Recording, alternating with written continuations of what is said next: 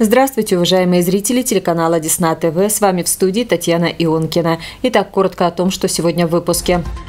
В администрации наказали нарушителей тишины. В области пойман поджигатель машины. В Десногорском водопроводе вода первой категории. Первый энергоблок Кольской АЭС готов перейти в разряд реакторов долгожителей.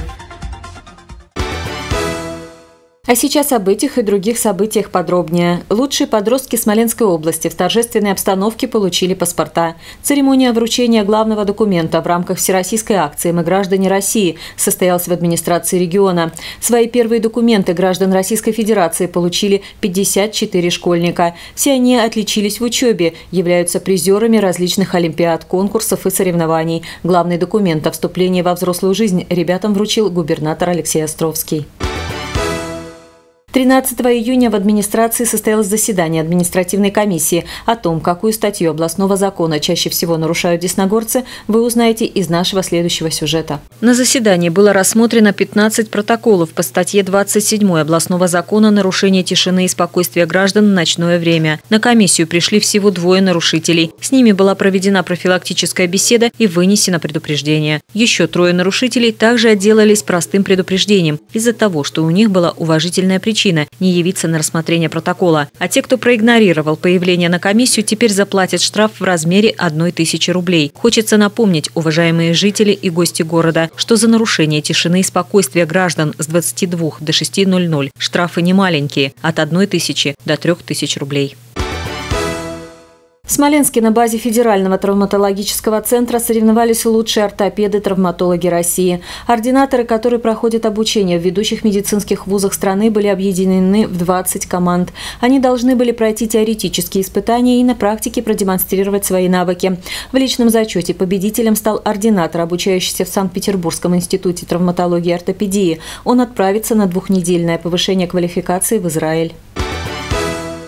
9 июня саперы пожарно-спасательного центра изъяли артиллерийские снаряды, минометные мины, ручные гранаты и тротиловые шашки в деревне Утоки Рословского района и деревне Балтутина Глинковского района.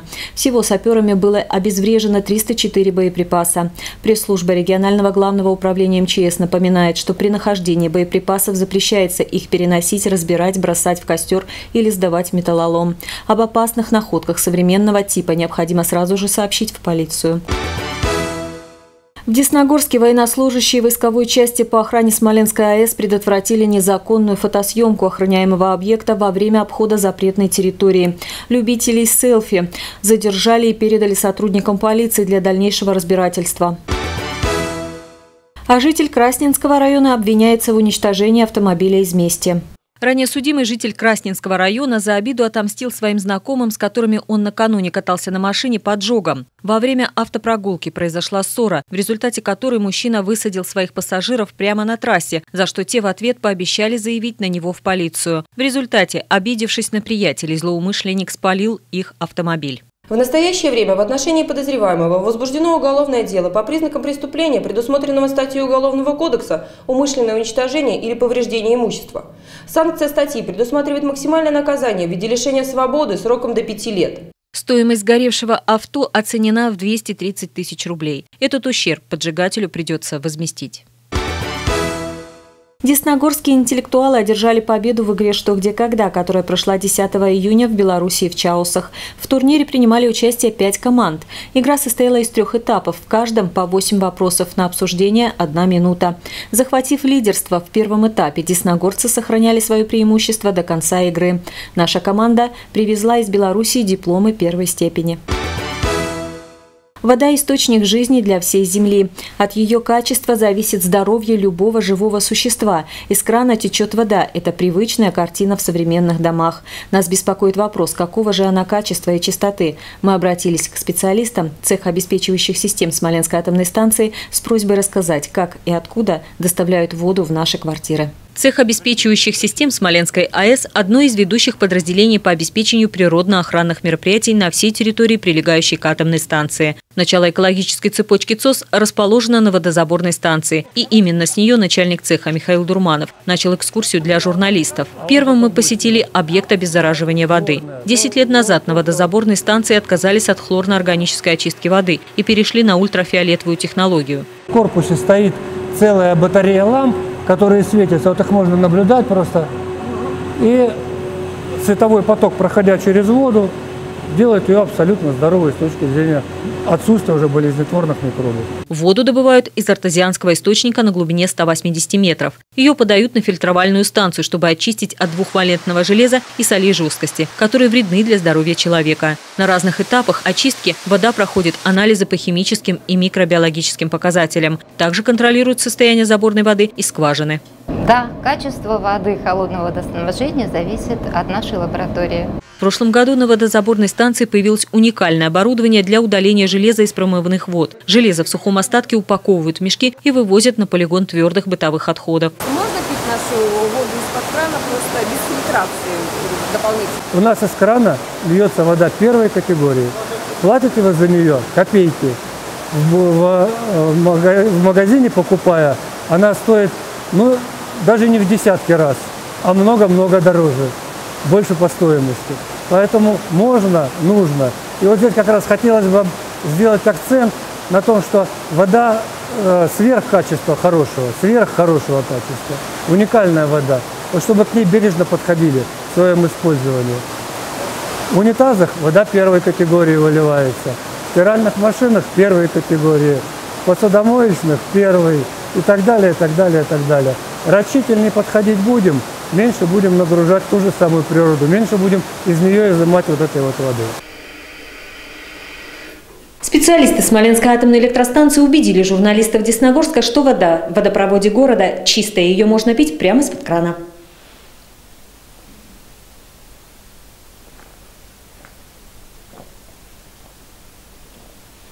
На САИС уникальный комплекс очистных сооружений. На них собираются хозяйственные и бытовые источные воды из Десногорска и со станции. Здесь они проходят механическую и биологическую очистку. Очередь проходит реконструкцию с 2010 года. Отрадно, э, что данный объект мы вводим в эксплуатацию в год экологии. Это очень э, значимый, так скажем, э, результат для цеха для Смоленской АЭС, да и в целом для города Десногорска. Сточные воды также проходят анализы в лаборатории очистных сооружений. Специалисты заверяют, что в Десногорское водохранилище поступает абсолютно очищенная вода, и в нем можно купаться без опасений. 17 июня в 13.00 в храме в честь иконы Божией Матери всех скорбящих радость состоится церемония передачи останков воинов РКК для захоронения на Малой Родине. И в завершении выпуска новости Росатома. Первый энергоблок Кольской АЭС готов перейти в разряд реакторов долгожителей. Сейчас на нем ведутся работы по восстановительному отжигу корпуса. Эта технология – уникальная разработка российских атомщиков, с помощью которой восстанавливают свойства металла, ухудшающиеся под действием радиационного воздействия. Принцип действия этой 26-тонной нагревательной установки сравним с сушилкой для обуви. Вот только результат их работы несоизмерим. Одна просто сушит сапоги и ботинки, другая позволит продлить ресурс работы ядерного реактора первого энергоблока Кольской АЭС на срок до 30 лет. Эта печь, состоящая из сборки нагревательных элементов на основе из нержавеющей стали, единственная в мире. С помощью нее проводят процедуру отжига корпуса реактора, точнее одного из его сварных швов. Отжигаем мы только один сварной шов, который находится непосредственно в районе активной зоны корпуса реактора, то есть рядом с топливом. Больше всего подвержен облучению. Под действием облучения металл становится хрупким. Пластичность ему возвращает термообработка в определенном режиме.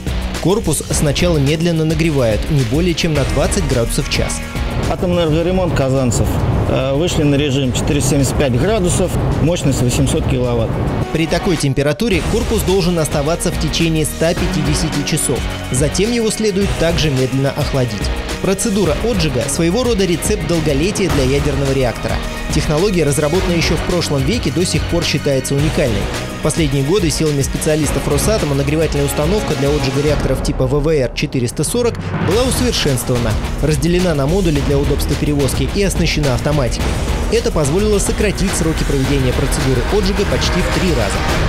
Процесс э, отжига стал более эффективным за счет того, что применено новое оборудование, которое позволяет фиксировать э, более точную температуру.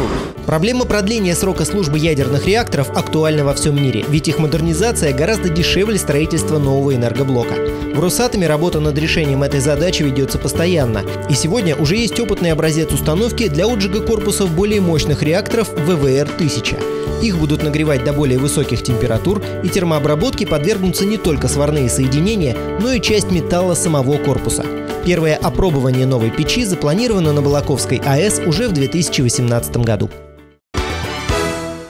Это все, о чем мы хотели рассказать вам сегодня. С этими и другими новостями вы можете ознакомиться на сайте нашего телеканала disnadefistv.ru. Также мы ждем ваших предложений и актуальных тем для новостей. Спасибо за внимание. До свидания.